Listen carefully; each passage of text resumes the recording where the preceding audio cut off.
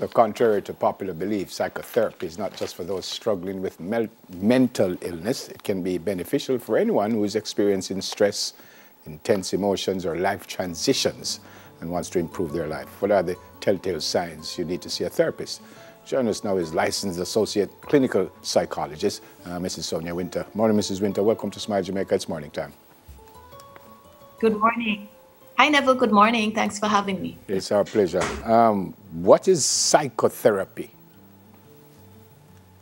Psychotherapy is another word for talk therapy. So, when individuals are having some of the challenges which you just outlined, such as um, stress, feelings of difficult feelings that's keeping them stuck, um, not performing.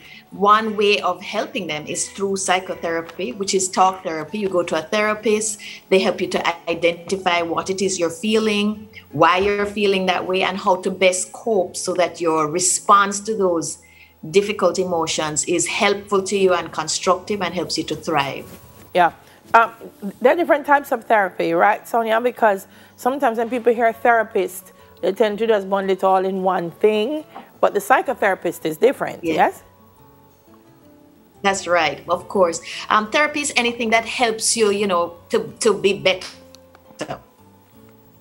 You know, so you have physiotherapy, which is about, you know, helping you to heal mm-hmm. uh, muscular difficulties and so on. But psychotherapy is about helping you with emotional challenges that you're having. And most often it's provided by trained clinical psychologists, psychotherapists, counselors, um, and psychiatrists. Okay. We have 10 critical signs, it says, to get professional help. I'll give you the headlines and then you could talk us through them. The first one says you're having difficulty regulating your emotions. Talk to me about okay, that. What, Sure. What that means is that they're pretty, you know, we're all designed to feel different, different, different emotions at one time or another. Sadness, worry, all of those emotions are healthy and appropriate. But you know that you need support when, depending on how intense those emotions are and the duration for which they exist, they're protracted. Um, take, for instance, feelings of hopelessness and sadness and anger when these emotions, you're responding to events in a way that is so intense emotionally and it doesn't fit the situation, and your response is having consequences that you don't intend, then you know that that's a sign that you need support. Your emotions are taking control of you.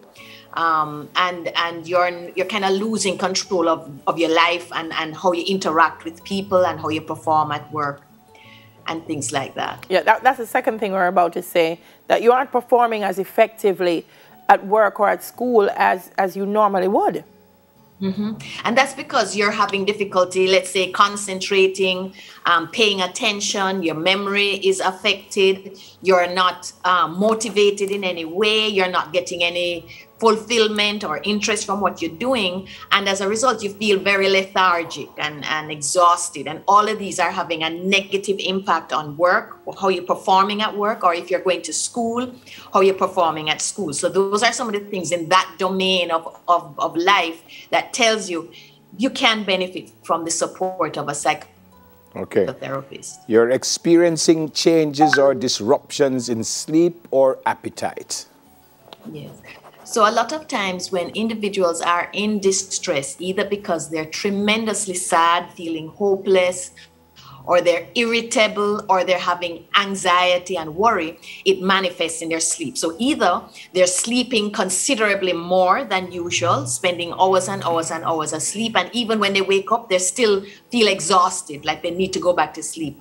Um, that's that's one sign. But other people they have difficulty sleeping. They have difficulty falling asleep or when they fall asleep they have difficulty remaining asleep. And so when they get up and they're ready to face the world they're feeling exhausted. They haven't had the benefit of restorative restorative sleep. And that's going to impact them not only in terms of their mood which we spoke about earlier but also in terms of their ability to perform as they go out in the world. Yeah. Similarly for eating, some people they can bury how they're feeling by overeating.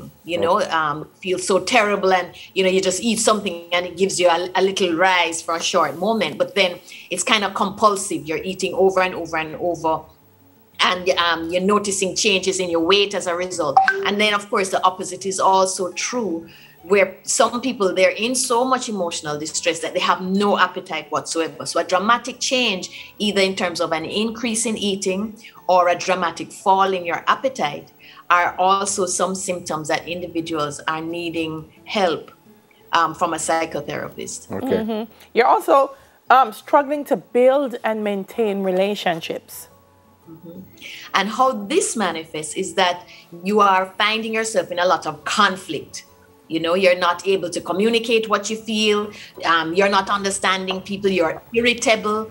Um, you're also finding that you're isolating from relationships as well. And all of this has to do with just how you're you're feeling emotionally you know um, whether you feel this connectiveness to people that you had before you know your family members your significant other and just how you're operating and, and dealing with them is unusually destructive in some way either because as i said you're you're engaged you're finding yourself activating a lot of conflict with them or you're isolating and withdrawing from them and as a result your relationship not only one, but probably several of the relationships that you are part of start to suffer. And you find yourself more and more alone um, in, in, this, in this distress that you're trying to deal with. Okay. Another one is your, your experienced trauma.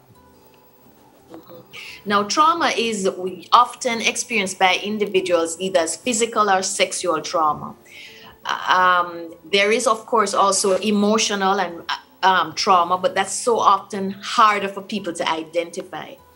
Physical trauma is where you have found yourself in one in one on one occasion or more than one occasion in a situation where you are being physically abused and you're kind of trapped. You haven't you're not able to help yourself and get out of the situation. So you feel helpless and therefore hopeless. And not only that memories of that event continue to haunt you and create feelings of anxiety or fear. And and then impact how you then are behaving for, for, for many you know time in the uh, years or weeks or months in after the event has actually happened. And that can be physical and, and, and sexual abuse. And it's just having a, a long-term effect on you long after the effect the event itself has happened. Yeah. You no longer enjoy the activities you typically used to. Yes.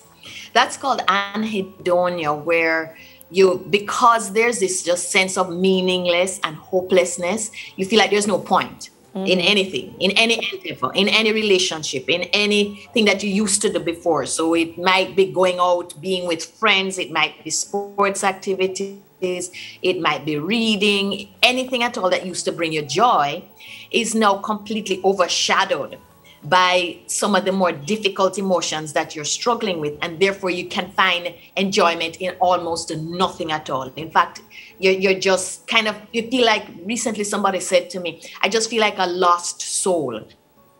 Just sort of wandering and can find no um, abiding city as we used to say. Um, and just this feeling of lostness or just stuck and in, in your life as a result. Yep.